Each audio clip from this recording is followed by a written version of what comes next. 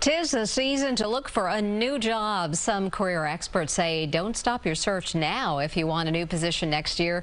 December is a great time to network and set yourself up for success. Executive coach Liz Bentley joins us now with valuable tips that might help you ring in the new year with a new position. She's the founder and president of Liz Bentley Associates. Good morning, Liz. Good morning, Mary. It's really great to be here. Thanks for having me on. And December is a good month to look for a job. Surprisingly, a lot of people slow down in December and think that people are not hiring, but that is not true. It's a great time to look for a job. What about networking? Is this a good time to do that, or are people like maybe distracted by the holidays, out of the office a lot? What is your uh, thought on that? Well, the thing is, is that it's a festive time of year. A lot of businesses have slowed down. So people are more willing to meet for coffee, uh, connect for a lunch or a breakfast if they are free and their calendar allows. Plus, there are a lot of events happening. A lot of uh, networking clubs and organizations are having parties and things that you can go to. So there's a ton of opportunity to really get out and either bump into somebody naturally or connect with them for a breakfast or a lunch. And let's watch or maybe drink. be doing now, right now? What should people be doing right now to, to set themselves up for success in the new year?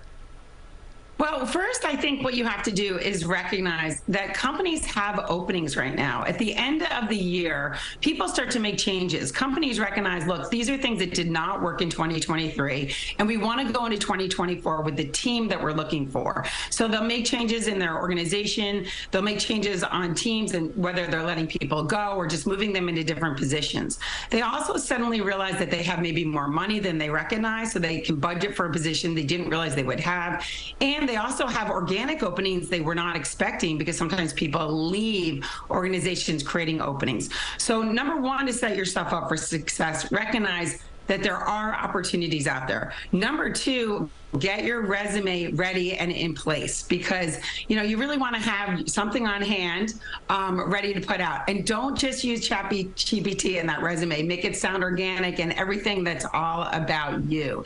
And then always practice. You know we're a big fan of role playing. We do a lot of role playing with our clients and we really believe you want to practice a lot of your language before you bump into people. What you're going to say what you're going to talk about how you're going to present yourself and everything around that. All right so what if you're looking for a promotion promotion. Is December the right time to approach the boss or should you wait until the new year for that?